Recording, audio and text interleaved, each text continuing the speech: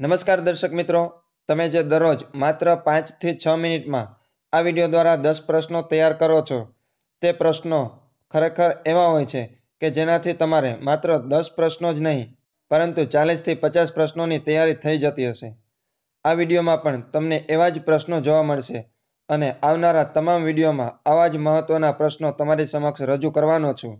માટે દરેક વિડીયોને ધ્યાનપૂર્વક જોઈ લેજો અને છેલ્લે તમને એક પ્રશ્ન પૂછવામાં આવશે જેનો જવાબ તમારે કમેન્ટ બોક્સની અંદર આપવાનો રહેશે. તો શરૂ કરીએ. છેલ્લા વિડીયોમાં પૂછવામાં આવેલ પ્રશ્નથી. છેલ્લા વિડીયોનો પ્રશ્ન હતો, જેનો જવાબ તમારે કમેન્ટ બોક્સની અંદર આપવાનો હતો. અને આ પ્રશ્નોનો જવાબ ઘણા બધા મિત્રોએ સાચો આપ્યો છે. સાંચીનો સ્તૂપ કોણે બંધાવ્યો હતો? મિત્રો, સાંચીનો સ્તૂપ બંધાવનાર છે અશોક, સમ્રાટ અશોક. ચંદ્રગુપ્ત મૌર્ય, એમનો પુત્ર બિંદુસાર અને એમનો પુત્ર અશોક. જેમણે મૌર્ય વંશની સ્થાપના કરી હતી એ ચંદ્રગુપ્ત મૌર્ય.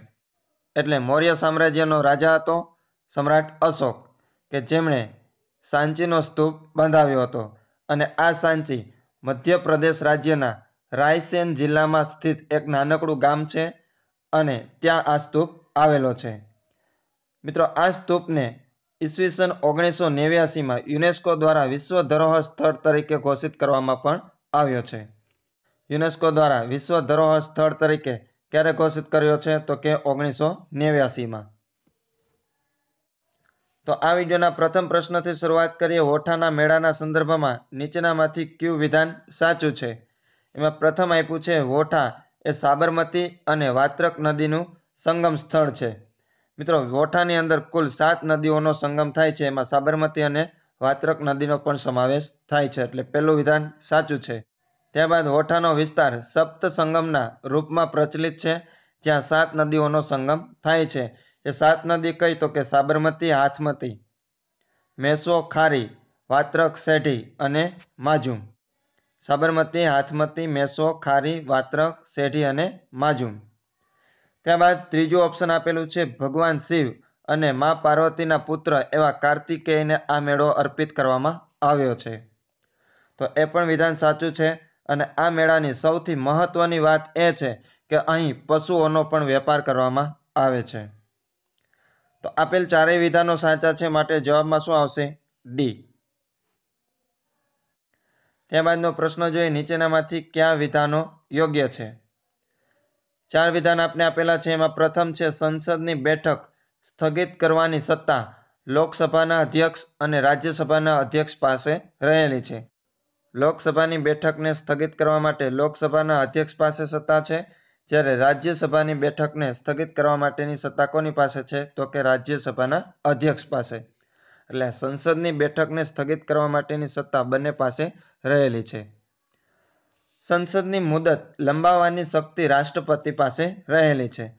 સંસદની મુદત લંબાવી હોય તો એની સત્તા રાષ્ટ્રપતિ પાસે રહેલી છે.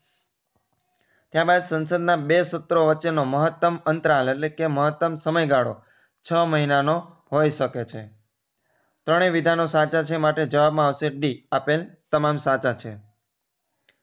ત્રીજો પ્રશ્ન છે ટ્રાય ટ્રાયની સ્થાપના ક્યારે થઈ? સૌપ્રથમ મિત્રો ટ્રાયનું ફૂલ ફોર્મ થશે telecom regulatory authority of India કે જેમની સ્થાપના થઈ છે ઈસવીસન ઓગણીસો સત્તાણુંમાં. અને એમનું વડુમથક આવેલું છે નવી દિલ્હી ખાતે. ચોથો પ્રશ્ન જોઈએ, નિયમિત બજેટ પાસ થાય તે પહેલા આગામી નાણાકીય વર્ષ માટે કેટલાક અનુમાનિત ખર્ચ માટે સંસદ દ્વારા કરાતી વ્યવસ્થાને શું કહેવાય છે? જ્યારે સરકાર દ્વારા બજેટ રજૂ કરવામાં આવતું હોય છે, એ પહેલાં કોઈ યોજના માટે ખર્ચ કરવાનો હોય અને એ સંસદ દ્વારા જે નાણાકીય વ્યવસ્થા કરવામાં આવે છે, એને આપણે કહેશું લેખાનું દાન જવાબમાં આવશે સી. લેખાનું દાન. પાંચમો પ્રશ્ન છે રેગ્યુલેટિંગ એક્ટ સત્તરસો તોતેરના સંદર્ભમાં નીચેનામાંથી ક્યુ નિવેદન યોગ્ય છે? તો પ્રથમ ઓપ્શન આપેલું છે, આ કાયદા દ્વારા બંગાળના રાજ્યપાલને બંગાળના ગવર્નર જનરલ તરીકે નામ આપવામાં આવ્યું હતું. વિધાન સાચું છે? બીજું છે લોર્ડ વોરન હેસ્ટિંગ બંગાળના પ્રથમ ગવર્નર જનરલ બન્યા હતા. એ વિધાન પણ સાચું છે અને ભારતમાં ઈસ્ટ ઇન્ડિયા કંપનીને અંકુશમાં લાવવાનો આ પહેલો પ્રયાસ હતો. તો રેગ્યુલેટિંગ એક્ટ સત્તરસો તોતેરના સંદર્ભમાં તમામ વિધાનો સાચા છે. જવાબમાં આવશે ડી છઠ્ઠો પ્રશ્ન, લોથલના સંદર્ભમાં નીચેનામાંથી કયું વિધાન સાચું છે?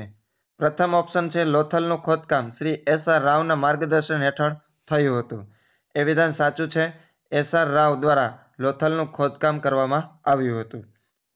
બીજું, લોથલનું જે બજાર છે, એમનો મુખ્ય રસ્તો ચાર પોઈન્ટ પાંચ મીટર પહોળો હતો, જ્યારે નાના રસ્તાઓ અને શેરીઓ ત્રણથી ચાર મીટર પહોળી હતી. તો એ વિધાન પણ સાચું છે. અને ત્રીજું છે, અહીંથી વખાર મળી આવેલી છે.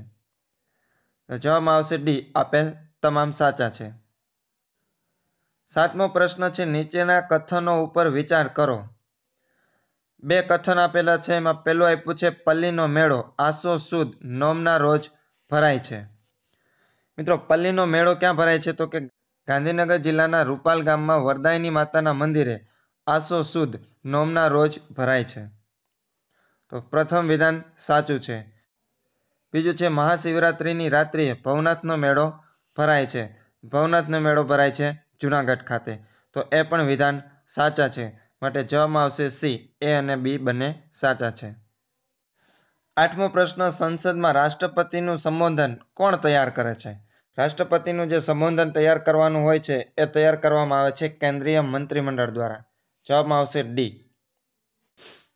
નવમો પ્રશ્ન, રાણકી વાવને વર્લ્ડ હેરિટેજ સાઇટનો દરજ્જો કયા વર્ષે આપવામાં આવ્યો હતો? જવાબ છે બી, બે હજાર ચૌદમાં. બે હજાર ચૌદની અંદર રાણકી વાવને વર્લ્ડ હેરિટેજ સાઇટનો દરજ્જો મળેલો છે અને આ રાણકી વાવ આવેલી છે પાટણમાં. અને રાણકી વાવને રાણીની વાવ તરીકે પણ ઓળખવામાં આવે છે, જે મારું ગુર્જર સ્થાપત્ય શૈલીની અંદર એમનું બાંધકામ થયેલું છે. મિત્રો, પાટણની જે રાણકી વાવ છે, એ રાણકી વાવનું બાંધકામ રાજા ભીમદેવ પ્રથમના પત્ની રાણી ઉદયમતીએ ઈસવીસન એક હજાર ત્રેસઠમાં એટલે કે અગિયારમી સદીમાં બાંધવામાં આવી હતી. એક હજાર ત્રેસઠમાં. અને આ રાણકી વાવની યુનેસ્કો દ્વારા વર્લ્ડ હેરિટેજ સાઇટનો દરજ્જો આપવામાં આવ્યો છે બે હજાર ચૌદમાં. બીજો મિત્રો એવો પણ પ્રશ્ન પૂછાઈ શકે કે રાણકી વાવ કઈ નદીના કિનારે આવેલ છે? તો આવશે સરસ્વતી નદીના કિનારે. દસમો પ્રશ્ન, ક્યાં અનુચ્છેદ અંતર્ગત રાષ્ટ્રપતિ સંસદનું અભિનંગ છે? જવાબ છે અનુચ્છેદ નંબર ઓગણએંસી. સંસદ એટલે રાષ્ટ્રપતિ, લોકસભા અને રાજ્યસભા. જ્યારે લોકસભા સંસદનું નીચલું ગૃહ છે, અનુચ્છેદ નંબર એક્યાસી મુજબ. અને રાજ્યસભા એ સંસદનું ઉપલું ગૃહ છે, અનુચ્છેદ નંબર એંસી મુજબ. અને રાષ્ટ્રપતિ એ પણ સંસદના એક ભાગ છે, અનુચ્છેદ નંબર ઓગણાએંસી મુજબ. અને છેલ્લો પ્રશ્ન, જેનો જવાબ તમારે કમેન્ટ બોક્સની અંદર આપવાનો છે. મગધમાંથી નંદ વંશનો નાશ કરનાર કોણ હતા? ઓપ્શન છે ચંદ્રગુપ્ત મૌર્ય, સમુદ્રગુપ્ત બીજો સમ્રાટ અશોક કે સ્કંદગુપ્ત?